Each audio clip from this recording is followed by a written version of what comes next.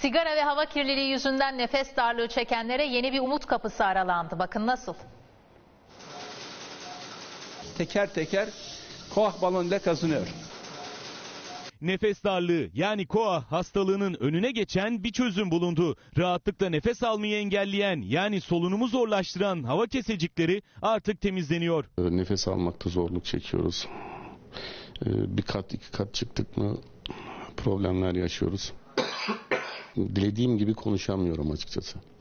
Gür konuşamıyorum. Koahın tedavisi soluk borusunu temizlemekten geçer. Koa hastalığında bronşlar tıkanıyor, ciğerlere oksijen gitmiyor. Çağımızın hastalığı gün geçtikçe hayatı zorlaştırıyor. Bacası tıkanmış bir boru düşünün. Bacağının içini açmaktan başka şansı yoktur. Bronşları sigara içmemiş orijinal haline dönüştürme işlemi.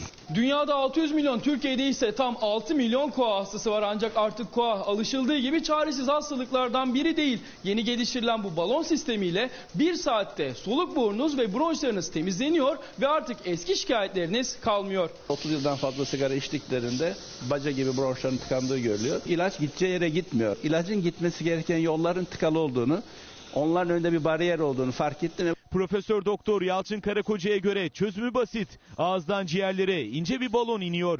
Bronşlar tamamen temizleniyor. Bu teknikle tıkalı olan soluk borusunu açmak mümkün. Kesin çözümse belli. Sigaradan uzak durmak ve temiz hava.